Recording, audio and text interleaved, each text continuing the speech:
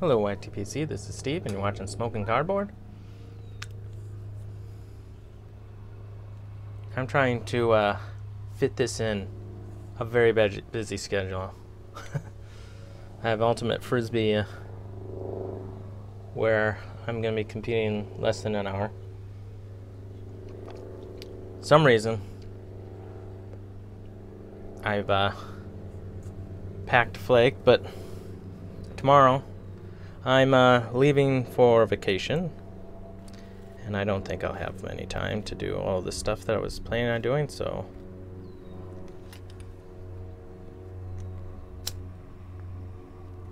I'm smoking the very last of my Astley's 44 Dark Virginia Flake. A dark, powerful Virginia Flake.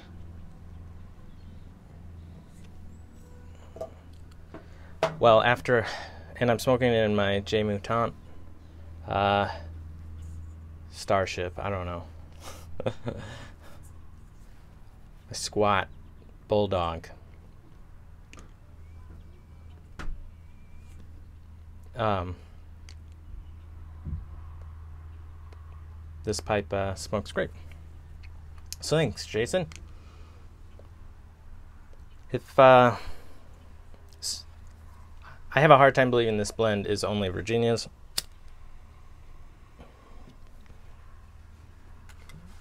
I pick up uh, Dark Fired in it. There was times when I was smoking this that I thought about the Wessex Burley slices.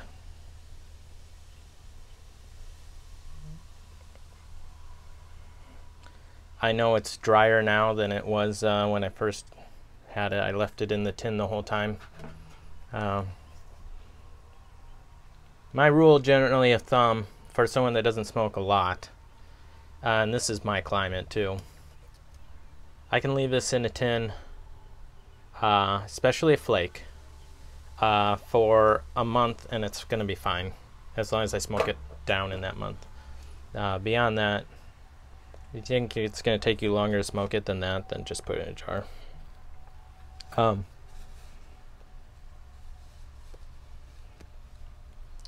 very good tobacco. Really high grades for me. I wouldn't say this is uh,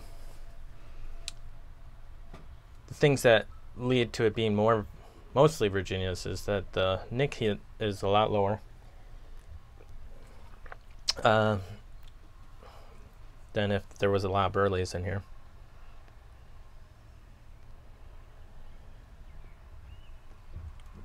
But it definitely tastes um, rich. Like that smoky, dark fired smokiness in there. Savory. Uh, yeah, almost like an earthiness. But really enjoyable, relaxing. Like it's the sort of uh, blend that you could definitely smoke bowl after bowl of it. It's not too heavy you know, on the palate or whatever. Really great blend. Hard to get a hold of. I think I tried to get it last year and I missed out. So when we got some drops this year, I was paying attention to it. I think it was because I was kind of after the campaign flake and or one of the flakes and someone said Astley's uh, 109, I think, was similar to that. And that one I got, and then someone else said that the 44 was really good. And uh, they weren't wrong. It is really good. Anywho, I uh, want to pull up the stats from uh, so far this year. I'll try to put a link to that video where I talked about it at the beginning of the year. I made a Excel document where you can kind of put in your tobaccos and stuff and you have different stats. I don't have time to like deep dive. Like I said, I was just throwing this together. And uh, so far, this uh, first half of the year, I've had uh, 126 smokes. So in February, I kind of was doing this whole uh, doctor stuff, trying to figure out what was going on. Found out that I'm pretty, uh, I don't know, have some sort of autoimmune uh, response to uh, smoke. So I get irritated a lot easier. But I th- think we found some solution that's really helped. Tongue wise and all that sort of stuff, I've felt the best I have in a while.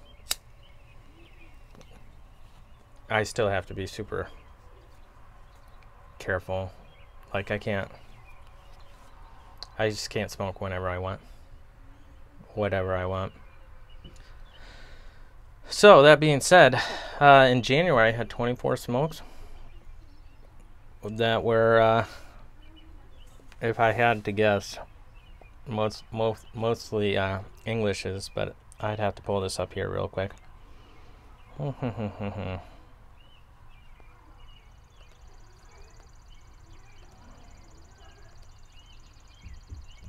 Let's see.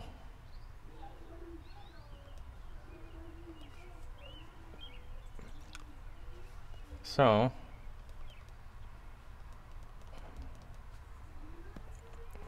yeah, I smoked uh, Abingdon GLPs the most, which I think Abingdon GLPs is such a a good like Balkan blend. Uh, I really like that. I'm I'm excited to smoke that next winter. Then in February, I uh, I didn't smoke as much because, like I said, doctor stuff, and uh, I only smoked 13 times in February, being assorted, but all English is Strat- Stratfordshire a C&D that's a mild English that I like. Accountant's Mixture, another English. Smoked some uh, Montgomery GLPs. That one's uh, Virginia with some Kentucky. Peterson Nightcap, Star of the East, Cornell and Diehl. That was a new one that I tried this year that I was really surprised by. I liked it a lot. Uh, there's a tobacco that's impossible to get here. Uh, 1820 flake from Germain's. And that one kind of reminds me of it, so I like that. And so on and so forth. So then into March, I didn't smoke once. That was part of the hey, I'm going to stop smoking to see, you know, help doctors figure out what's going on. Um, which it worked. But then back in April, I uh, started smoking again. Got 24 times in April, 31 times in May, June. Uh, I think I had, so far this year, I smoked uh, 46 or something like that, different blends. So I smoke a lot of different stuff. a lot, a lot of different stuff and I just think uh, that's fun. In April, I smoked the most of uh, Revor Plug by Gawith and Hoggarth. Really delicious, strong, um, nicotine wise and flavor.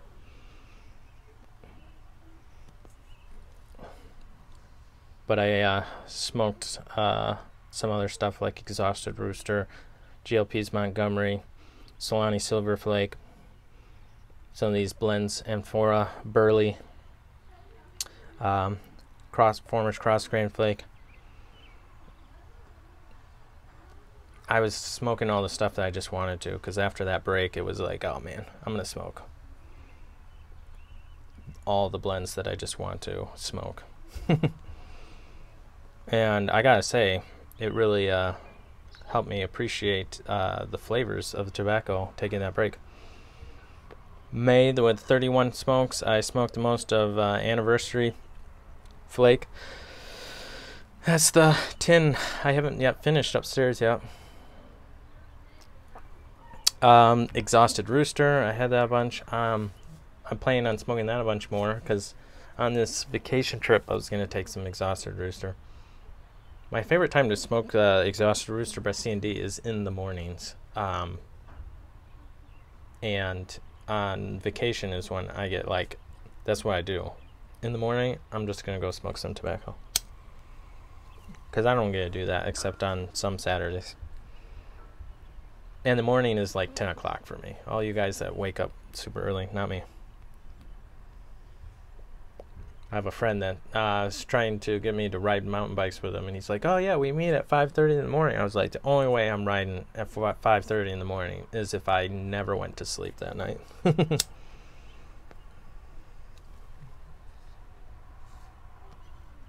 uh, other stuff that I smoked: uh, Rattray's "Hal O' the Wynd," four times. Solani, uh, or Peter Stokkebye English Luxury Really like that. I think that would be my like, oh, if you could only have one English blend, what would you choose? I would be really tempted to choose that one. It's really good. Just uh, it doesn't disappoint. I, whenever I have it, I'm just happy I'm smoking it. You know. Um, and to my palate, and maybe I, I haven't had this stuff in a long time, but uh, it remind me of Germain's uh, Pembroke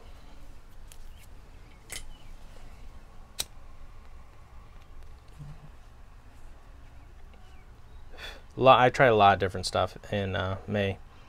And then June, let me get it up here.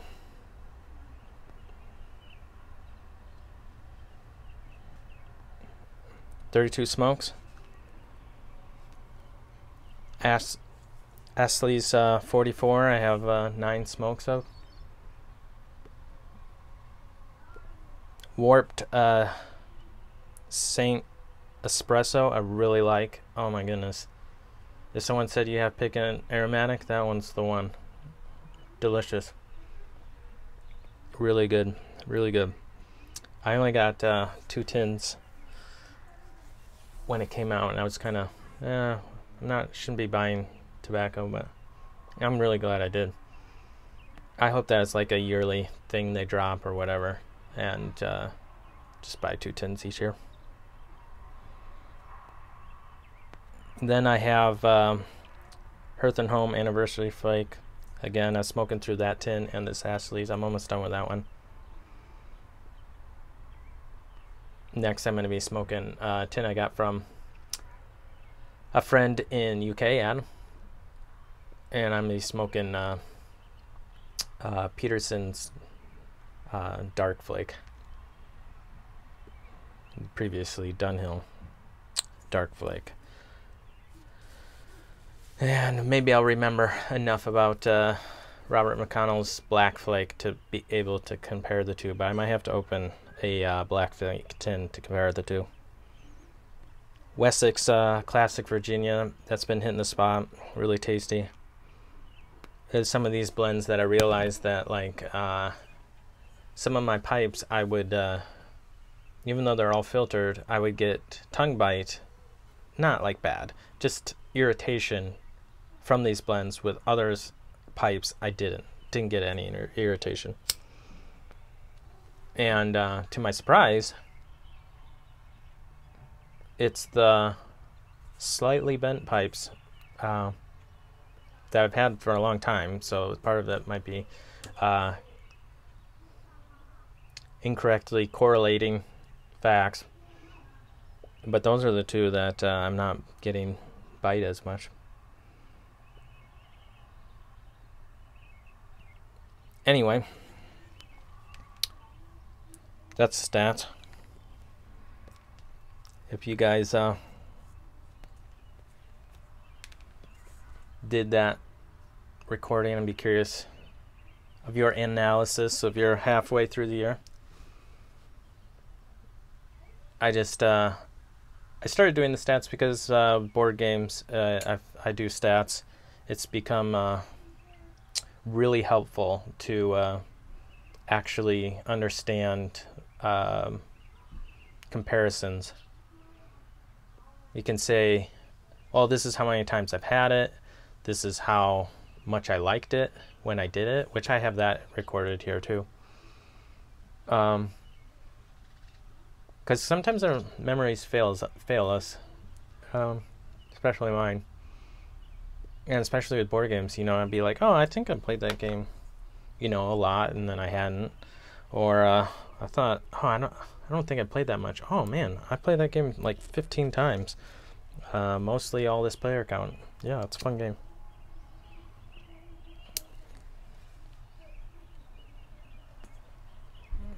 But anyway, this tobacco's delicious. Definitely has uh, some some dark fired in it. Maybe some burley. Wonderful weather outside. Just trying to keep the lawn alive. We got just we just sit on sand here where I'm at. And so they put like a little, a little bit of topsoil on top of the sand so the grass just burns out super fast.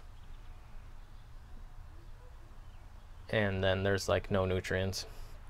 So you gotta fertilize it and do all that stuff. But you can just let the lawn go, but then it's just gonna get taken over by weeds. It's easier to keep it alive.